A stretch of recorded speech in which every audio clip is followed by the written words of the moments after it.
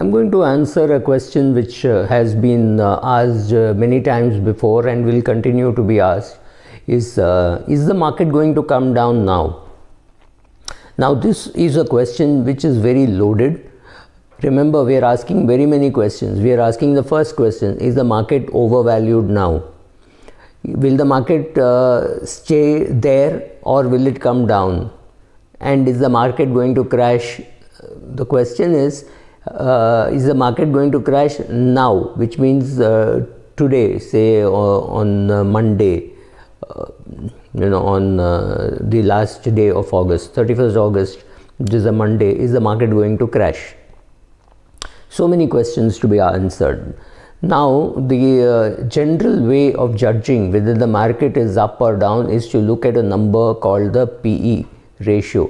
PE ratio, as the name itself suggests, is a ratio between the price and the uh, price in the, of a share and the earning that it delivers. Because ultimately, when you buy an uh, equity share, you are buying it for the earnings.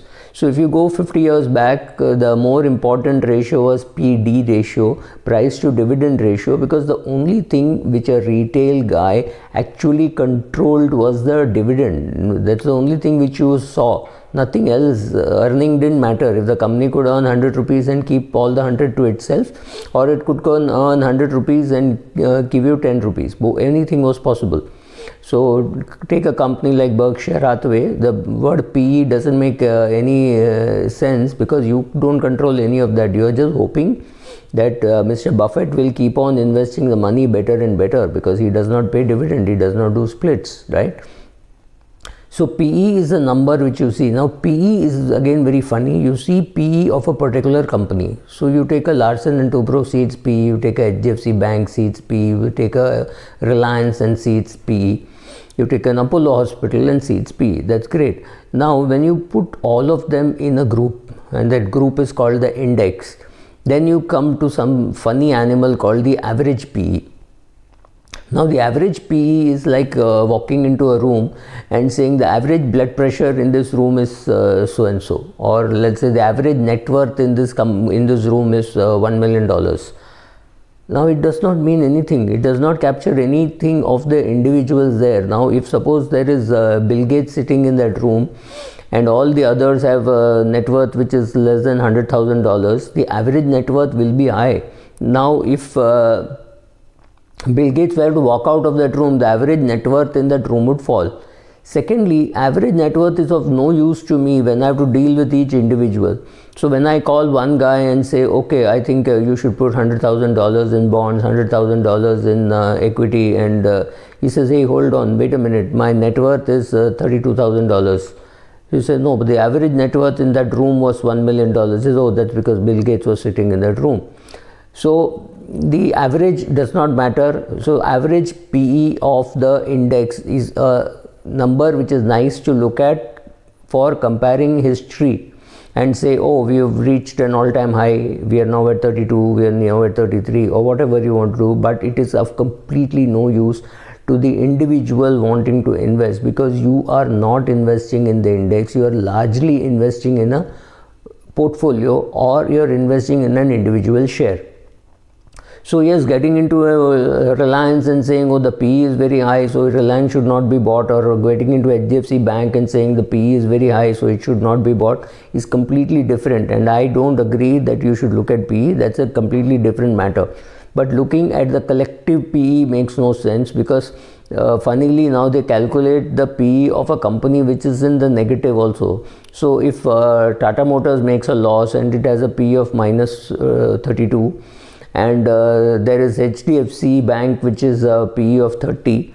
Uh, does it mean on an average if I buy HDFC Bank and Tata uh, Motors my portfolio would be at uh, PE of 0? No, it makes no sense. Don't look at this collective PE.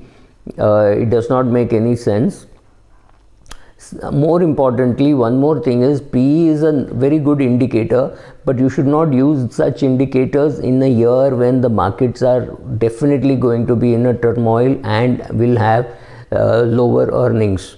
So every company is likely to report bad to very bad kind of uh, earning because uh, like a pharma company told me, there is no worker with whom we can manufacture, there is no transport, there is no doctor writing prescription, chemists are hard up for money, hospitals have to get money from municipal uh, municipal authorities.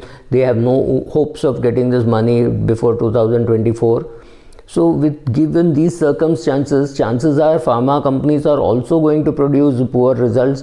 Pharma companies exporting to US are also going to produce bad results. So where is the question of the market uh, doing well because of the current year working no people market is definitely buying the 2022 earning or the market is saying there will be reversion to mean again reversion to mean is a word which uh, fund managers love to use uh, in years when their performance is bad.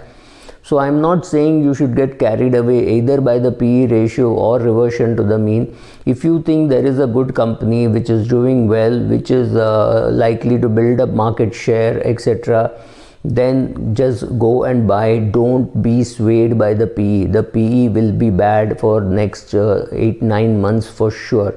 Don't let pe swing you. This is a good time when you should be using pb market share uh, roc ronw look at all that. And if you think those are also not good indicators you may not be very wrong because with the current working uh, all the ratios would also be subs, uh, pretty uh, subdued.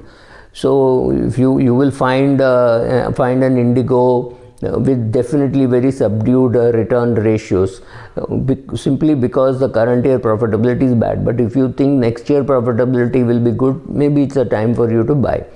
Do you think HDFC bank is overpriced? Then you should not be buying and if those for those people who think the whole market is overpriced or some particular shares are overpriced they should just go and uh, short the market.